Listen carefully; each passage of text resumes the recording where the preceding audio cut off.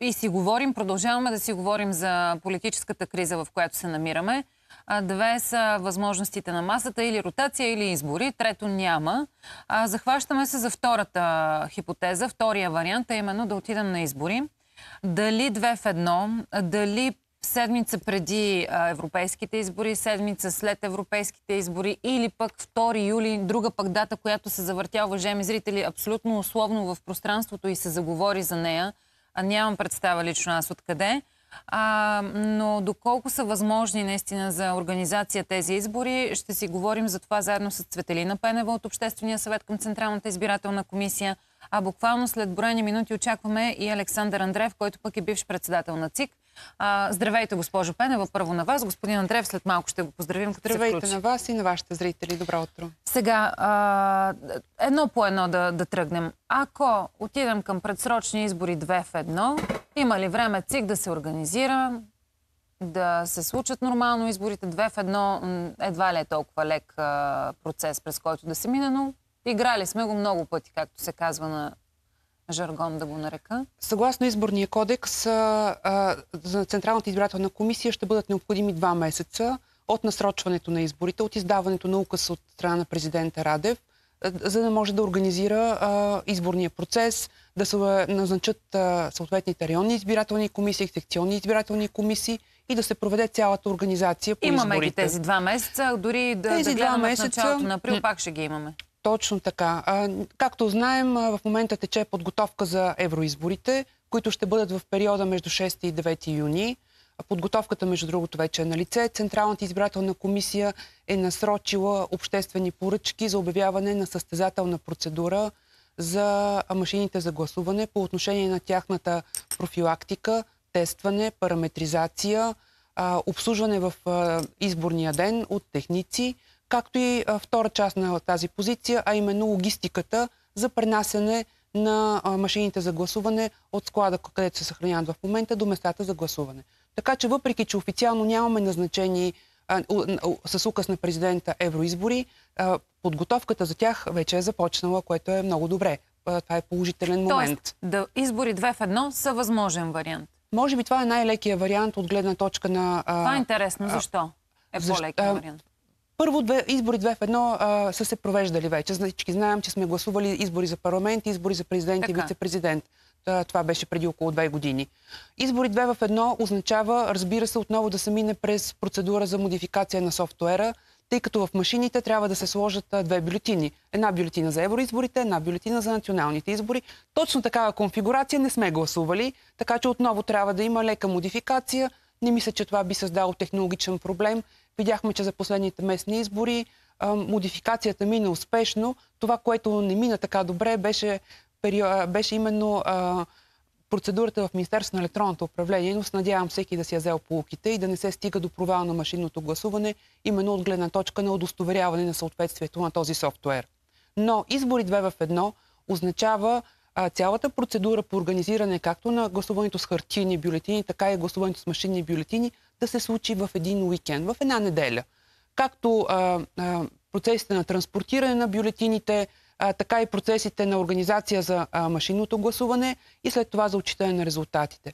При всички други хипотези, в които се обсъждат сега а, избори предсрочни, ако има евентуално парламентарни да бъдат една или две седмици след европейските избори, означава двете кампании за изборите, както по отношение на политическите партии, така и по отношение на това, за което говорим сега, а именно организацията от страна на Централната избирателна комисия, да се слеят, което не е добре технологично.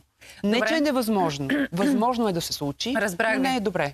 Александър Андреев вече е на пряката ни линия. Господин Андреев, казвам ви добро утро. Радвам се, че отделяте от Добро времето утро си и на вас и да зрители. сте в нашия ефир, защото знам, че сте ангажирани и то с много, много благородна дейност с студенти. А, Да, да. Говорим си тук с госпожа Пенева за това възможно ли е, има ли достатъчно време да се организират избори две в едно. Нейното мнение е, че има такава възможност, има такова време, защото и по закон всъщност са упоменати два месеца. А, издава се указа от президента и да има два месеца отстояние от датата и издаването на указа, за да се справи ЦИК. Аз лично съм малко на по-различно мнение. Ще ви кажа защо. Защото в момента стартира само първият елемент от цялата процедура за връчването на мандатите. В тази връзка, ако дори да стане в петък гласуването или не на, на правителството, тук нататък а, трябва да бъде спазена процедурата, която е предвидена в а, Конституцията и след което вече да започне и де-факто консултациите, които са по новите разпоредби на на член 99 от Конституцията, с които евентуално да бъде възложено на един от, едно от посочените лица министър, да бъде министър-председател и съответно обсъждането на министрите, които ще, бъдат, ще влязат в служебното правителство.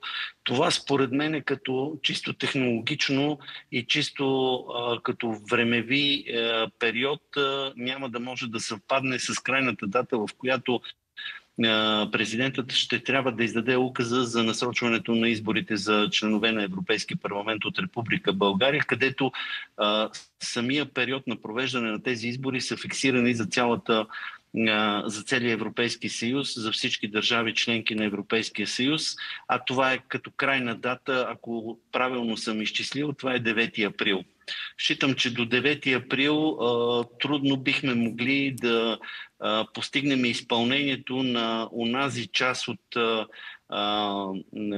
процедурата по възлагане на мандатите и съответно формирането на служебното правителство и насрочването на изборите и за, член, и за, на, за парламент и поради което според мен провеждането на тези избори, ако има такива изваредни избори за Народно събрание, ще трябва да бъдат на друга дата, тъй като няма да има достатъчно време, за да може да бъдат насрочени и да бъде спазен да. 60-дневният срок, който е предвиден по изборния кодекс. Излезе още една дата, 2 юли. Коментирахме преди да влезем в ефир с госпожа Пенева. Ще й дам и на нея възможността да, да коментираме такава хипотеза. Отново обаче да кажа условността.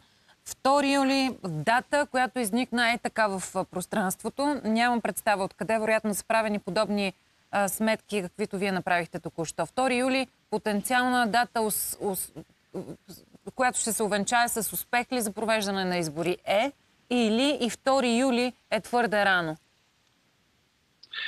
Вижте, от гледна точка на организацията на изборите, твърде рано няма да е рано. Въпросът е да бъде спазен този 60-дневен срок, който е предвиден по изборния кодекс.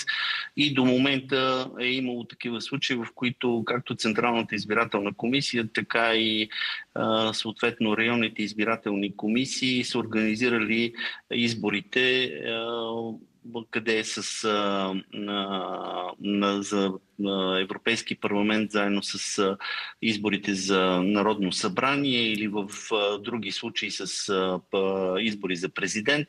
Тоест от тази гледна точка няма да е проблем, тъй като в крайна сметка достатъчен е периода от 60 дена, за да може да бъде организирано. Това, което би могло евентуално като предизвикателство да възникне, е въпросът с машинното гласуване, до толкова доколкото и районите са различни и в чужбина, т.е. това би могло евентуално да създаде необходимостта в по-бърз порядък да бъдат програмирани вече за гласуването за Народно събрание в едни последващи избори, тъй като тези машини, ако трябва да бъдат върнати в България, да бъдат отново програмирани вече с новите кандидатски листи за друг различен избор, всичкото това, разбира се, изисква едно технологично време.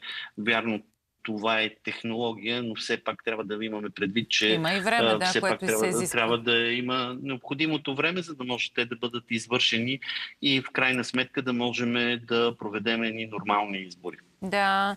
А, госпожо Пенева, дайте да разсъждаваме по тази дата, която пак повтарям, просто си върви така в пространството. Но а, господин Андреев каза нещо много важно и ключово, според мен, логично е точната дума. А, машините трябва да бъдат върнати в България. Оттам да се пренастроят наистина. Това е технологично време, това е факт. Така. Да, това е факт. Това се касае, касае основно този проблем секциите извън страната.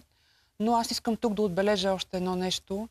машинното гласуване може би ще създаде проблеми на Централната избирателна комисия по отношение на логистиката, но ние в Обществения съвет констатирахме, какво се случи на последните частични нови местни избори, които се проведоха само преди няколко дни. Какво? Знаете, че на 10 март имаше частични нови местни избори, а, на 17 март беше втория тур.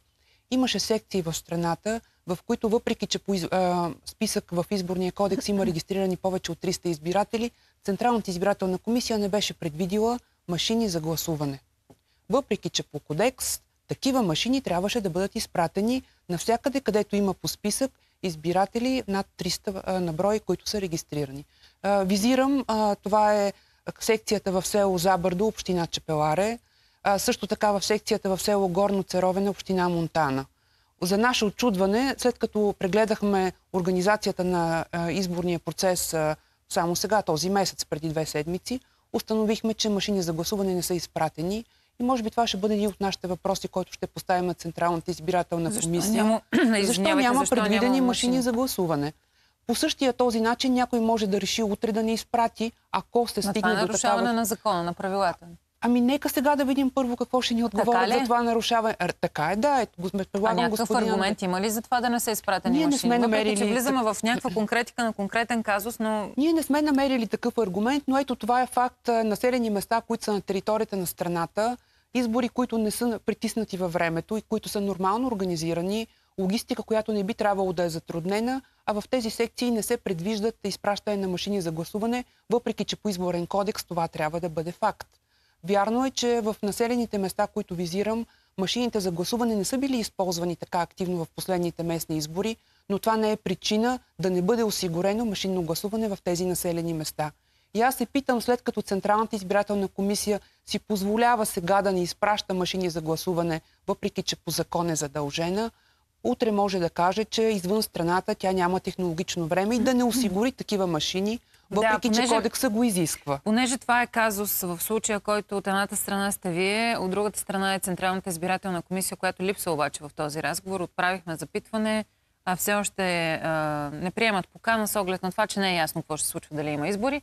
А, но подозирам, че няма как Централната избирателна комисия да не впише някакъв аргумент, дори нещо. Ние ще ги запитаме официално. Каква така е тази тема ще причината? про- проследим отделно. Защото това означава, че някой може да си позволи да не спазва кодекса Не дай си Боже и да не осигури машини да- за гласуване. да, Да, това- това, не е не звучи нормално. да е нормално, Именно в този определено. контекст а, а не е добре да се а, получи ситуация, в която технологичното време да бъде причина да не бъдат Да осигурени машини. машини за гласуване извън страната в хипотезата, в която господин Добре. Андреев спомена. Господин Андреев, това може ли да се ползва, между другото, като аргумент на Централната избирателна комисия или е абсолютно нерелевантно? Вижте, не може да се използва какъвто и да било довод в вреда на текстовете, които са предвидени в изборния кодекс. Изборният кодекс предвижда определени условия за провеждане на избор. Част от тях е възможността на избирателя, тогава когато е предвидено е, и машинно гласуване в съответната секция, да може да избере дали да гласува с на хартия или машинно, съответно там, където позволява да упражни гласа си с машинното гласуване. В тази връзка, освен ако не възникнат такива условия, които по закон в изборния кодекс е предвидено, че машината не може да бъде използвана за гласуване и тогава се преминава към хартияното гласуване или има други данни, евентуално за нарушение, в всички останали трябва да бъде осигурено и гласуването с машини и считам, че това е съществено нарушение от страна на изборната администрация, ако не може да го осигури. Разбира се, пак казвам, че е хубаво да бъдат предвидени и да бъдат програмирани така действията, които трябва да бъдат извършени, за да може да не се достига до въобще на, на такива нарушения, които биха могли а, да поставят под съмнение резултатът от изборите, а, било то за частични и местни, както е в случаят, или пък а, за национални избори или избори за членове на Европейския парламент. И още нещо да попитам. Какви са за вас пробойните в изборния ни процес в момента, които, ако има как, е хубаво да се така запушат, да, да се елиминират за следващия вод? Независимо дали е две в едно, дали е европейския първо, след това евентуално предсрочен парламентарен, няма значение. Вижте, аз лично считам, че е, в момента каквато и да било промяна в изборния кодекс би донесла повече негативи в организацията на изборния процес, отколкото по позитиви. И в тази връзка а, считам, че в момента вече е късно каквото и да било промяна да бъде правена в изборния кодекс, независимо дали ще бъдат избори две в едно или по самостоятелно, по-отделно, защото това ще наруши работата на както на Централната избирателна комисия, така и на останалите изборна администрация, но това, което е предизвикателство, което видяхме към момента и от предходните избори и в, е включено в анализите, включително и от този на Централната избирателна комисия, това е осигуряването на машинното гласуване, разяснителната кампания, която да помогне да бъдат намалени недействителните гласове да. и не на последно място подготовката на секционните избирателни комисии. Тук голямо предизвикателство е подготовката на членовете на секционните избирателни комисии извън страната, защото а, там а, е по-трудно да бъде проведено. Знаеме, че само една част от членовете, тези, които са от а, българската държава изпратени, а, успяваме да по някакъв начин да бъдат подготвени. Тоест, осигуряването и на такива материали, които да позволят дистанционно да се подготвят членовете на секционните избирателни комисии, да не гледаме това, което видяхме от предходните избори с наблюдението, тъй като там излязаха доста такива моменти, които а, свалят доверието от изборния процес. Така е. Така е, за съжаление. Благодаря ви, господин Андреев, още веднъж за отделеното време и за включването ви в ефира на твоя ден. Следващия път, което подозирам, че ще е много скоро живот и здраве, ви очаквам в студиото. Госпожо Пенева, финални думи по отношение наистина на а, разсъжденията, дали сега е момента за промени. Вие от Обществения съвет настоявахте за такива отдавна. Нищо не направиха депутатите. Така е, повече от една година в нашите анализи ние включваме а, препоръки, какви промени би следвало да се обсъдят от парламентарните сили и да се включат като изискване в изборния кодекс. За съжаление, никой не желая да ни чуе. Основното ни изискване беше да се върне машинното отчитане на гласовете. За да гласуваме това... машинно, наистина. Не, не толкова само да гласуваме машинно. Ще улесни и броя, и Въпросът е, че ще се улесни отчитането на резултатите да. и по този начин ще получим по-чисти протоколи с по-малък процент грешки. Последните ни анализи показаха, че трябва да има много по-подробни инструкции по отношение на провеждане на видеонаблюдението, защото отново установихме, че във формата, в която то се провежда сега, а, бих казала, че много малко работа върши, а може да върши повече работа. И пак, между другото, има много добри резултати, макар и да не ни харесва това, което видяхме. Благодарение на видеонаблюдението видяхме какво се случва в някои секционни избирателни Именно комисии. Това... Тук да дадем за един, за друг, да се договорим, да заключим вратата и така нататък. Не искам да си спомням даже. По-любопитното е каква, как, какви са присъди някакви имали след това, защото се водеше разследване. Това Нека да го... изчакаме да видим да, а, какви ще проверим. бъдат резултатите. Да. Надяваме се да ни очакват едни спокойни евроизбори. Дано. Аз призовавам а, към разум по отношение на организация на изборния процес, така че да не се случат а, ситуации, които ще поставят на изпитания както Централната избирателна комисия, така и български избирател. И се надявам да имаме едни честни едни прозрачни избори. Дано. Благодаря ви, госпожо Пенева. Цветелина Пенева от Обществения съвет към Централната избирателна комисия. Реклама сега, уважаеми зрители, веднага след нея очаквам професор Александър Маринов в студиото ни.